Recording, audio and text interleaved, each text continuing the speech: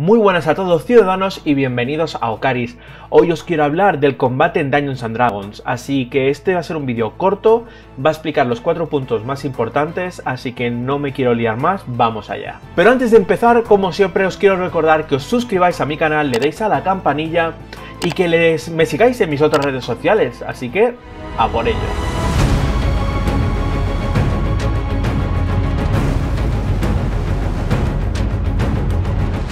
Os encontráis en unas ruinas abandonadas donde os han dicho que hay ciertos secretos, incluso algún objeto mágico. Pero hasta ahora no habéis encontrado nada más que alguna trampa. Y ya está. Algún esqueleto de algún antiguo guerrero muerto, pero ya está, no hay nada más.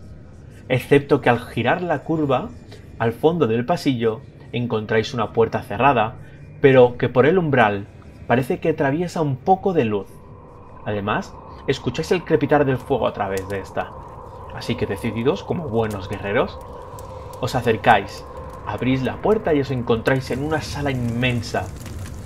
Hay un fuego grande en medio de esa sala que ilumbra todo. Y entre este fuego percibís unas sombras, tres o cuatro sombras. Así que vuestro Dungeon Master dice, tirad iniciativa. Así es como empieza una batalla en D&D normalmente, tirando iniciativa. Pero es que antes tenéis que saber dónde os vais a poner. Os voy a poner un ejemplo. Este mapa que veis es el Battle Map. Aquí es donde vais a realizar la batalla, así que lo que primero hacéis es os posicionáis.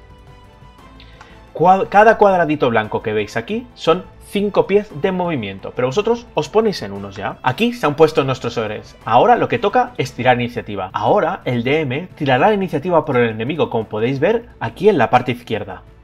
Después le toca a cada uno de los héroes a tirar su iniciativa. Esta se ordena, así que Misra será la primera, será el primero en actuar y Orn el segundo. La iniciativa, además, viene indicada aquí, donde pone iniciativa, y es un más 2 a tu dado 20. Vemos que Misra se ha movido. Ha hecho una acción y se ha movido. Ahora es el turno de Orn. Orn las opciones que tiene son movimiento. Como vemos aquí, Orn tiene 30 pies de movimiento. Eso quiere decir que desde su posición actual podrá moverse un máximo de 30 pies. No más. El movimiento además lo puedes fraccionar en las acciones que tú hagas. Es decir, puedo moverme, atacar y volver a mover. Volvamos al mapa de combate. Una de las cosas que también puedes hacer es interactuar. Esto quiere decir abrir una puerta, cerrar otra puerta, darle a un botón, o incluso hablar y decir una frase para que la batalla no tenga que ser con la espada. Como vemos, Orn se ha movido delante de su enemigo. Vamos a ver qué acciones tiene. Las acciones que sueles tener es una por turno. Puedes atacar, golpear, disparar una flecha, golpear con tus espadas, con tus dagas, lanzar hechizos o improvisar.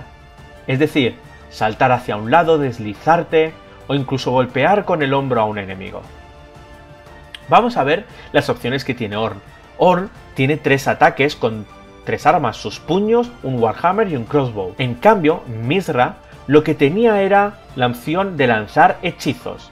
Estos hechizos los puede hacer como una acción puesto que aquí es donde lo indica. Las acción bonus es otras opciones de acción que tienes y estas especifican cada una en el personaje. Es decir, en tu ficha de personaje te pone B, A para indicarte que es una acción bonus. También pueden ser hechizos, algunos que se lancen como acción bono. Otra cosa que pueden hacer son las reacciones. Las reacciones son acciones que se activan cuando sucede otra cosa. Vamos al Battle Map para enseñaros una cosa. On se encuentra a 5 pies de su enemigo. Si ahora su enemigo decide moverse a 5 pies de aquí, Orn tiene un ataque de oportunidad en contra del enemigo. Claro que si es Orn quien decide moverse, será el enemigo quien le ataque, aunque no sea el turno de este. Or decide utilizar su Warhammer para atacar al orco que tiene delante. Así que, a ver.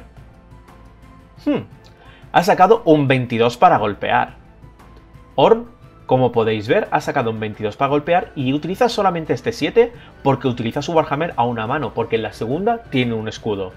Con 22 hace daño al enemigo. Así que le hace 7 puntos de daño.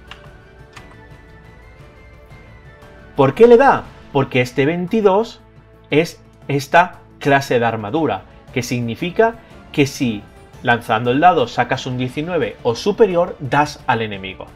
Esa es la clase de armadura. Ahora os voy a explicar qué sucede cuando Orn ataca al enemigo, porque al tirar ese dado de 20 pueden suceder dos cosas. Una es un critical hit y la otra es un critical fail. El critical hit lo que tiene es que doblas el daño que realiza tu dado. El critical fail lo que quiere decir es que fallas estrepitosamente. Puedes perder el arma, darte a ti mismo o que el enemigo te dé un ataque porque sí de gratis. Otra cosa que puede suceder es que vuestra vida se reduzca a cero. Eso os voy a enseñar ahora en la ficha de personaje de Or. A Or le queda un punto solo de vida, pero es que el enemigo, el orco, le acaba de pegar un buen golpe. Le ha hecho un punto de daño. Así que Orn cae al suelo inconsciente y tendrá que luchar por su vida. Cada turno, Orn tirará un dado de 20 y si saca 10 o más es un éxito. Si saca menos es un fallo. Si consigue acumular 3 éxitos, no muere, pero sigue inconsciente. Si por el contrario consigue tres fallos, pues lo más seguro es que este personaje muera y el jugador tenga que hacerse un nuevo personaje. La hoja de personaje se rompe. Claro que hay opciones de recuperarlo, pero eso es más avanzado. He querido ser esquemático y breve para que sea fácil. Espero que esto sirva de ayuda y que, bueno, empecéis a jugar a D&D sin miedo de perderos en el combate. Y hasta aquí el vídeo de hoy, espero que os haya gustado, ya sabéis como siempre, cualquier duda, cualquier recomendación, podéis escribirme en los comentarios y además no os olvidéis de suscribiros a mi canal, darle a la campanilla y seguirme en mis otras redes sociales que es donde más activo estoy en el día a día. Así que ciudadanos, muchas gracias por venir una vez más a Ocaris, nos vemos en el próximo vídeo.